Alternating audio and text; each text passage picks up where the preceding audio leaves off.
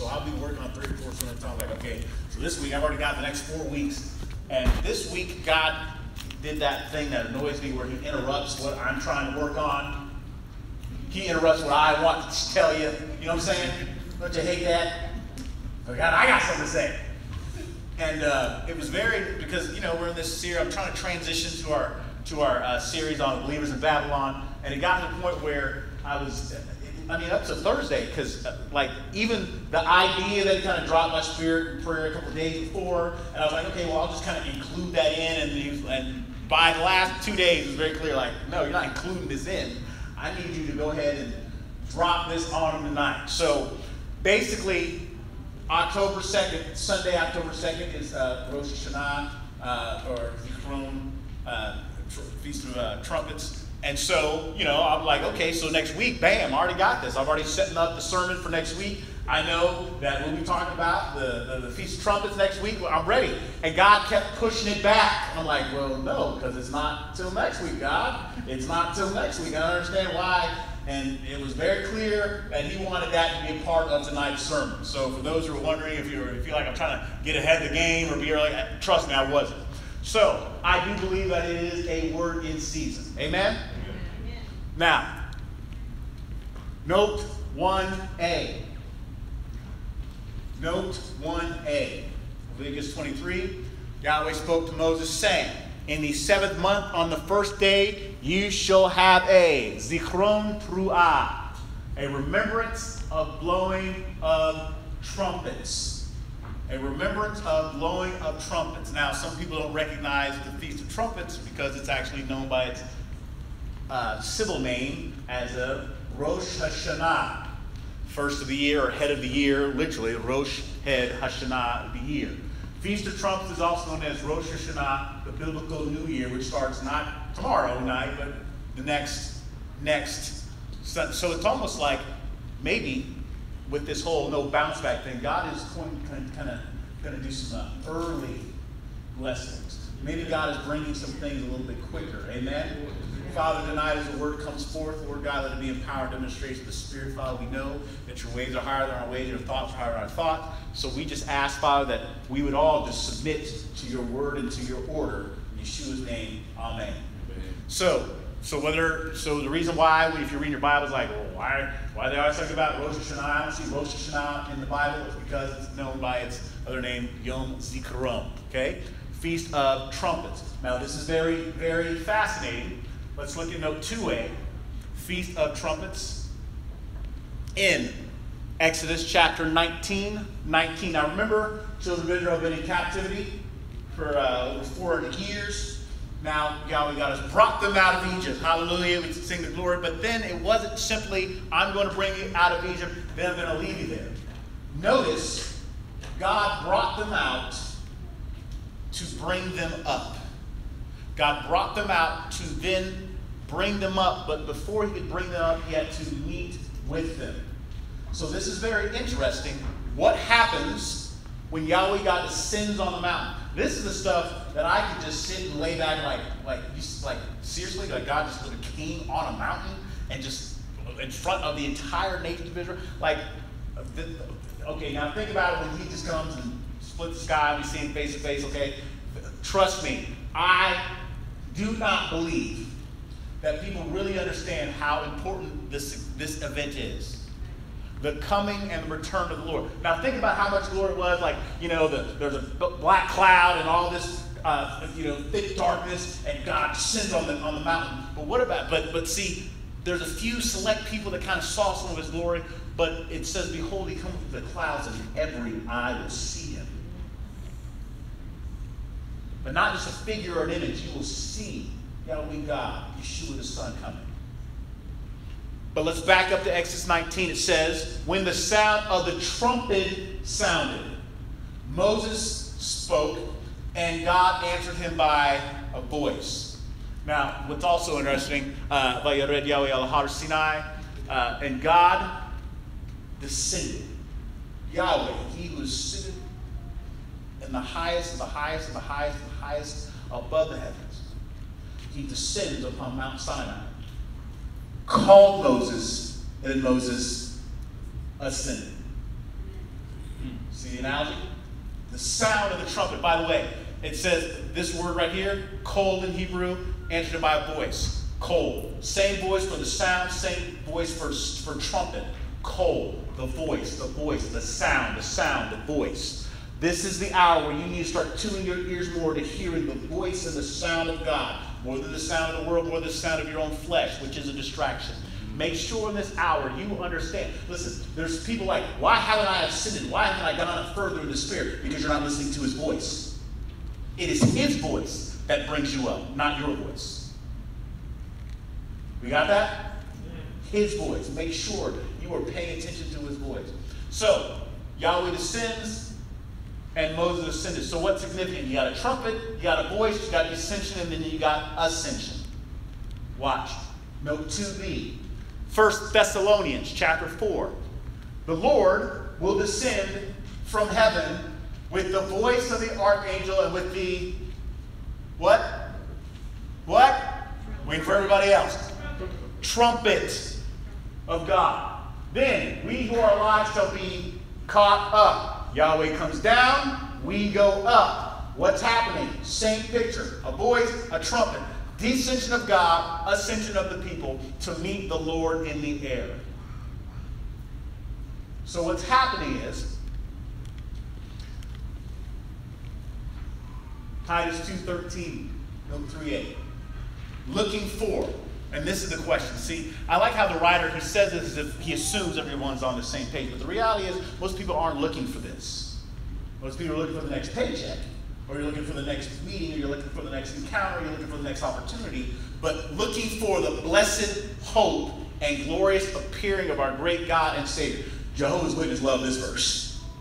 That's a joke, by the way. No, they can't stand this verse because they call Jesus God and Savior.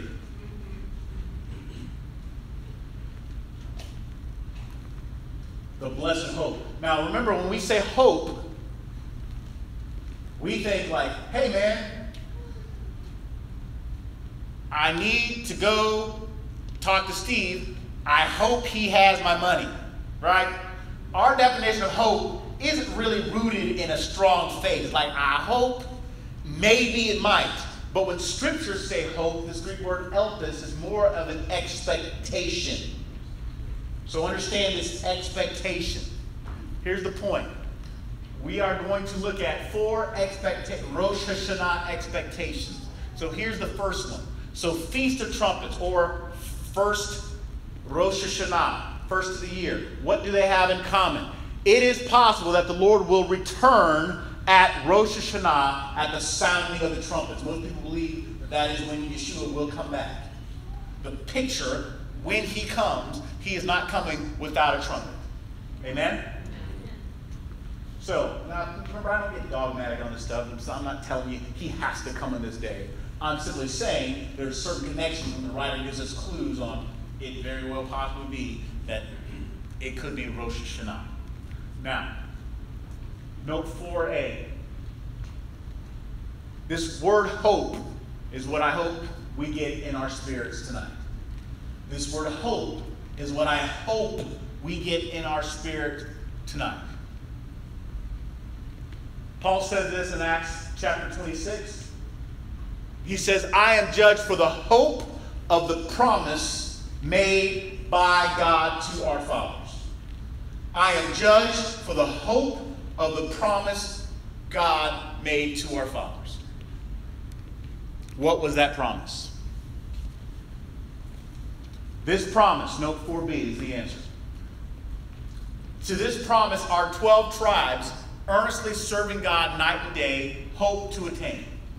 Why should you think it's incredible that God resurrects the dead? Why do you think it is bizarre? I'm, I'm, amazed at people who have a problem believing with God in God because they don't believe that He can do miraculous things. That is the point of believing in God. He is miraculous. He is the giver of life. However, there are some people that think it's just impossible that God would raise the dead. Now, people will make this um, mistake of confusing Pharisees and Sadducees together. well, Pharisees and Sadducees are the same thing. No, there's a reason why Paul still called himself a Pharisee. Aren't paying attention. He still called himself a Pharisee. Why? Why is it that when Paul spoke, there would be a division between the Pharisees and the Sadducees? The Sadducees would have a problem, but most of the Pharisees would be like, well, hold on, let them talk, let them talk. Let. Why is that? Who knows the difference? Acts chapter 23, verse 8.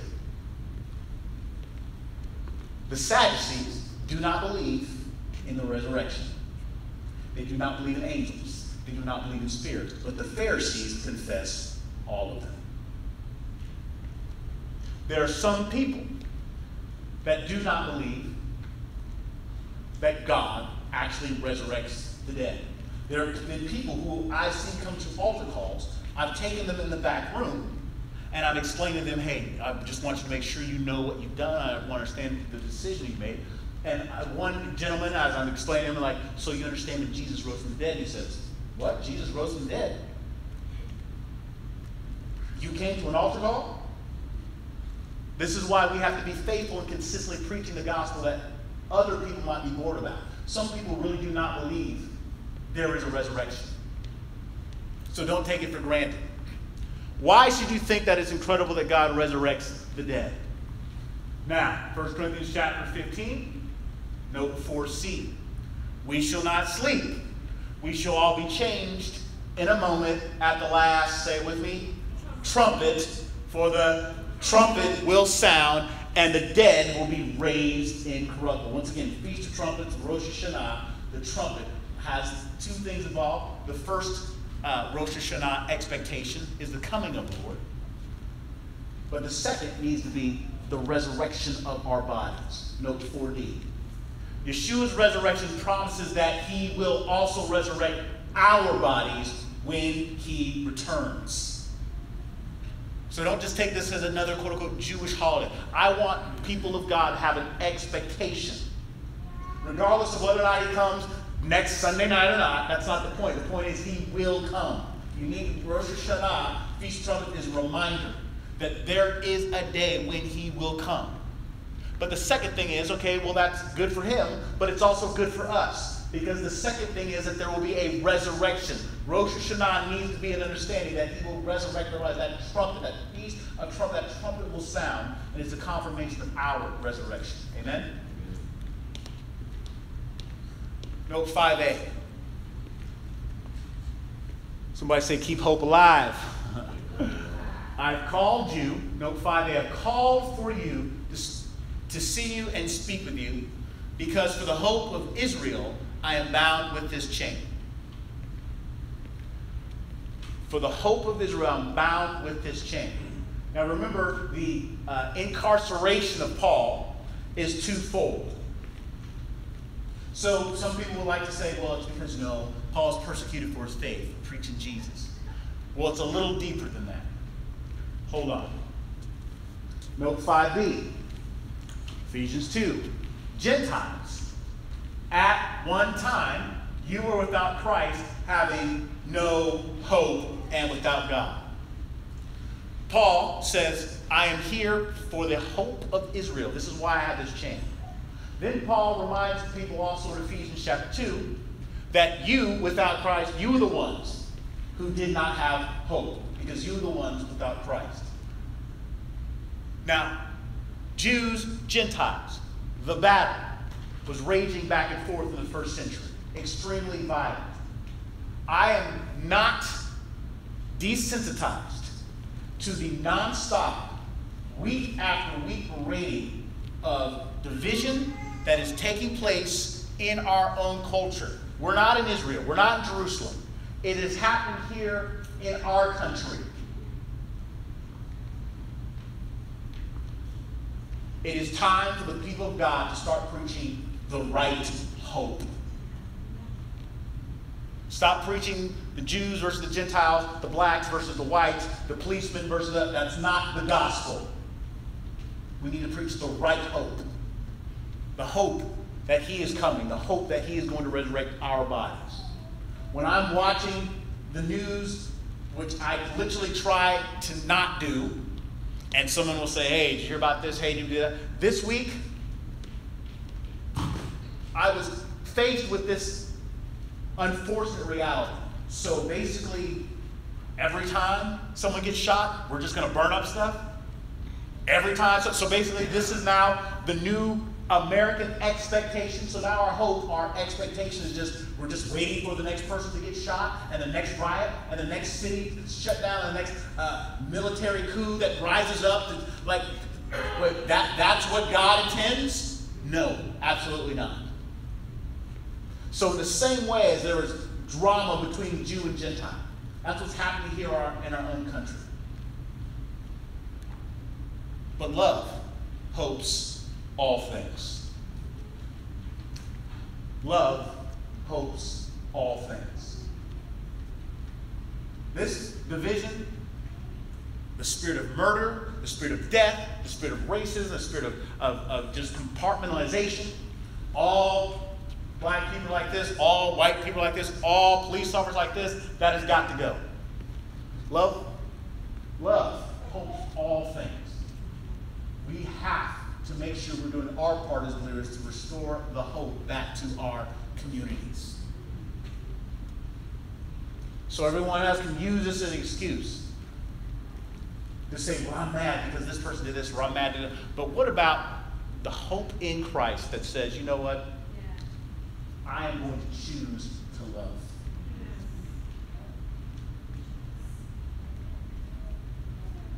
So the name of tonight's message is called Messianic Motivation. Note 5b. Yeshua is the only hope for peace between Jews and Gentiles by showing love for all humanity. That's our job. Our job is not to pick sides, but his side.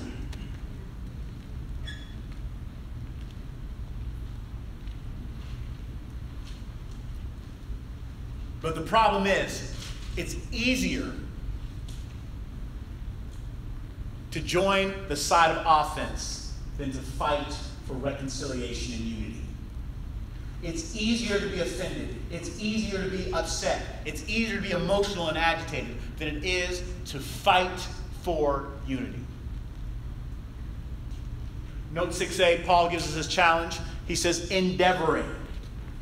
That's what like the King James New So I want to get that Greek word there. Diligent exertion. What I am not seeing is a diligent exertion on the part of people to say, listen, I know what happened is jacked up, but I'm still not going to use that as an excuse to destroy and divide our nation. Endeavoring to keep the unity of the Spirit and the bond of peace. But the problem is, it's not the world's fault if the church is not leading by example, showing what it means to fight for unity. So if all of a sudden we get more political than kingdom minded, we need to be motivated by the love of the Messiah above all things. Endeavoring, diligent exertion to keep the unity of the Spirit the bond of peace. There is one body, just as you were called in one, say with me, hope of your calling. So here's the reality.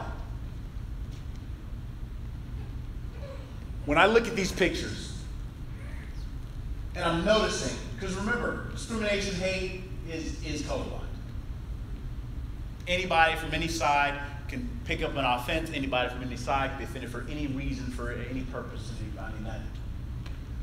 It doesn't matter who you are. If you've got a heart, you are subject to bitterness, discrimination, and hate. But when I saw this sign right here, that is supposed to be, I hope that is what every believer in the body of the Messiah will be able to say. All this hatred, all this fighting, we are not this. That is not who I am. That is not who the Messiah is. That's supposed to be our role. Now, I'm all for standing up for justice,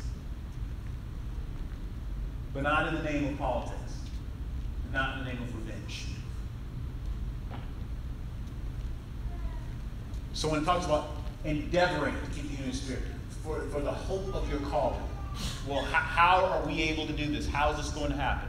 Note 6b Christ in you, the hope of glory. Christ in you, the hope.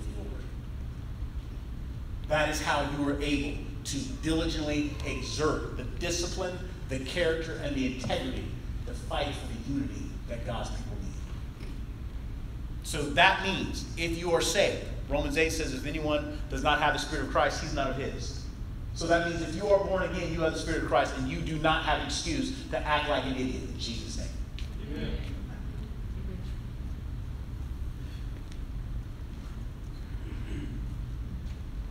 Note 6c. So the third expectation. So the first expectation, the first hope, we use that word hope, we're interpreting what it means. Expecting that God will come, the Messiah will come, Yahweh will come. The second is that he will resurrect our bodies. But here's the third expectation, because he says, endeavoring, striving diligently to keep the unity in the Spirit. Everyone called in Christ is expected to fight for peace. Not to fight one another, fight for peace. Make sure you're doing your part to not agitate the situation, but promote reconciliation. So, like I said, the first half of, the, of, of Paul, he said, For the hope of Israel, I'm in this chain. And then on purpose, we talked about then Paul switches and he's saying, like, you know, remember Gentiles, you at one time were without Christ, you were the ones without hope. So I want to kind of conclude here with these next few slides and pay attention to this story here in Acts chapter 22, what you have is Paul is now speaking to a multitude of, of, of Hebrew people, and, and uh, when they, they find out that he can uh, speak in the Hebrew tongue, you know, they're quiet and listening to him. And uh, it says here, as Paul starts recounting the events of how he came to faith in the Messiah, he said, As I journeyed and came near Damascus, Suddenly, a great light from heaven shone around me, and I fell to the ground and heard a voice saying to me, Saul, why are you persecuting me? So I asked, Who are you, Lord? And he said to me, I am Yeshua of Nazareth. Now, two things I want to be clear on this, this story. It is very important to understand that one, uh, there's you got Acts chapter 9, you got Acts chapter 22. And like I've heard some people if you haven't run into this, you will run into this. There's people that are basically ready to ostracize Paul and discount Paul and call him a false apostle. And literally, that came up in like my third Hebrew class. Like, I didn't know the guy that I was teaching was like an anti-missionary at the time, and it was just like, and then just out of nowhere, he just starts ripping up Paul. I'm like, wait, what, is, what, what's happening? And so one of the things that they'll try and use is supposed contradictions in the Bible. Now, keep in mind, the reason why the scriptures make sense is because in Acts chapter 9, Paul is not telling the story, it's the writer Luke. So there are going to be certain things that Luke is going to see or point out that Paul's not going to say. In Acts chapter 22, this is Paul's version of the story. So it's not a contradiction. If you go back to Acts chapter 9, you see certain things. Remember, it's two different versions of the same story. It's not a contradiction. It is a, what's my word? What's my word? Paradox. Okay. So, he heard a voice saying, Saul, why are you persecuting me? So I asked, Who are you, Lord? he said to me, I am Yeshua of Nazareth. Now, remember, this is important. This is Paul, a Jewish man, speaking to a whole bunch of other Jews. They are not mad that he's talking about Jesus. They're not mad that he's talking about um, that, that, that Jesus says that he was persecuting them. So there's this, still this false narrative that Jews had a problem with Jesus. And that's why Paul was in jail. But that is not true. And note 7a, continuing in Acts chapter 22. Then he said to me, I will send you far from here to the Gentiles. And they listened to him until until what, class? They listened to him when, when he was saying, talking about Jesus. They didn't have a problem with him talking about Jesus. What did they have a problem with? They had a problem with him talking about the Gentiles. Then they said, Away with such a man, he is not fit to live. That's why I'm saying the message of racial reconciliation doesn't begin with the black people and the white people. It begins with the Jew and the Gentile. This is the root. So this is why Paul said in Ephesians chapter 3, Paul, a prisoner for you Gentiles. Paul's a prisoner, not because he was preaching Jesus. Paul's a prisoner because he endeavored to keep the unity of the Spirit and the bond of peace and reach out to other people. This is the heart of reconciliation. But as we conclude here with this theme of being a prisoner, Zechariah chapter 9 because the blood of your covenant, I will set your prisoners free. Mm. Return to the stronghold. Let me be 100% biased right now.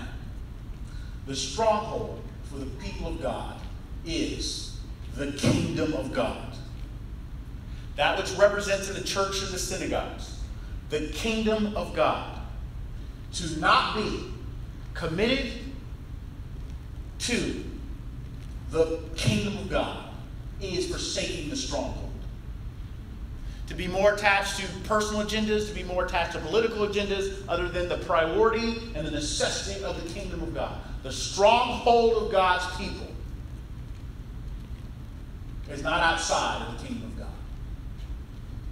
Return to the stronghold, you prisoners of hope. Return to the stronghold, prisoners of hope. Those who in the faith don't need to first run to CNN and Fox News and all this other stuff. We need to return to the stronghold. We need to come back to our roots in the faith, but also come back to our community in the kingdom of God. And then he says, Hayom, today I declare I will restore double. For those who don't understand what's happening, this is God now giving you a promise. Returning to the stronghold, prisoner of hope. And then he says, Today I will restore double to you. Paul, a prisoner,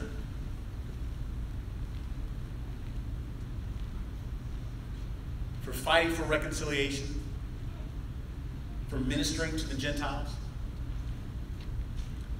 That is where some of us can feel like I'm trying to do the right thing. I'm trying to preach. I'm trying to be faithful. I'm trying to seek the kingdom of God. But I just feel like it's always hopeless. I feel like it's just almost like a prison. But God has a word for you today that you can be free from the prison of hopelessness and find yourself a prisoner of the expectation in Christ.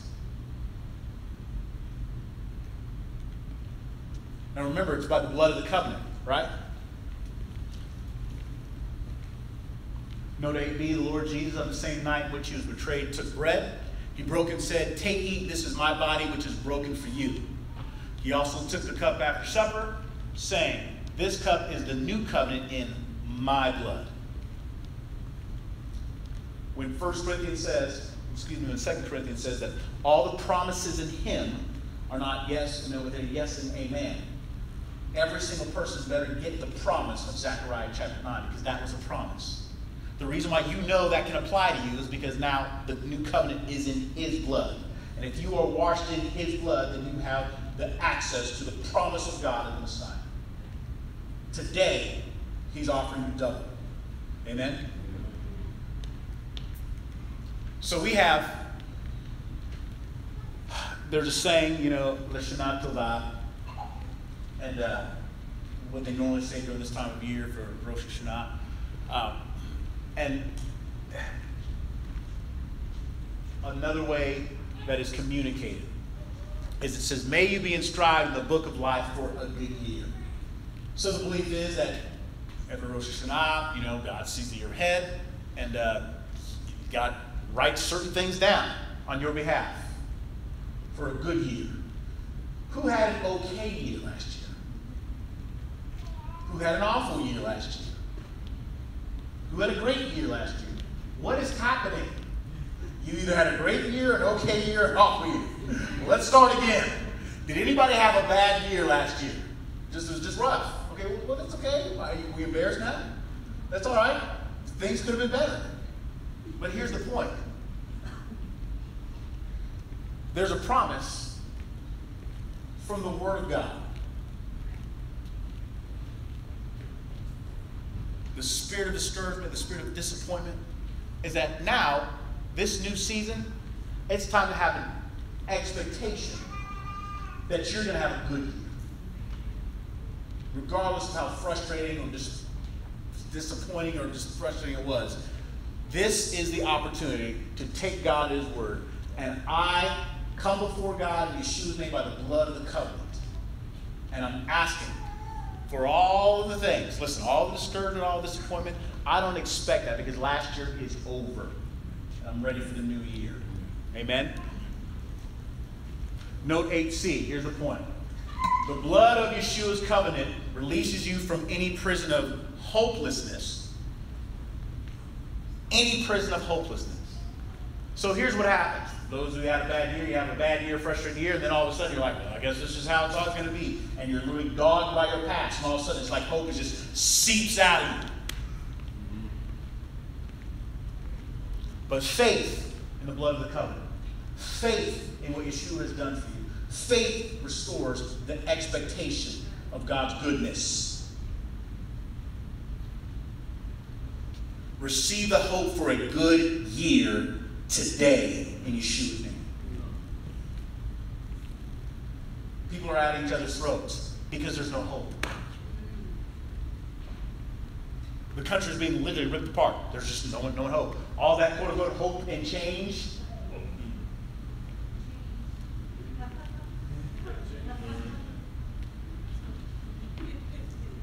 Or, or as I like to call, nope and strange. It has been the most bizarre eight years I've ever seen. Legislatively, spiritually, the demonology that's off the charts, the obviously the the sexual promiscuity, you name it. It has been eight years of just what? Strange. But that's a false hope. And anytime the world puts their hope in a man instead of Adonai, you are going to have disappointments. Receive the hope for a good year in Yeshua's name. So, this is what, in conclusion, I want to leave you with. So, remember what he said today, today, today, today, today. Zechariah, he said, Today I'll restore you double.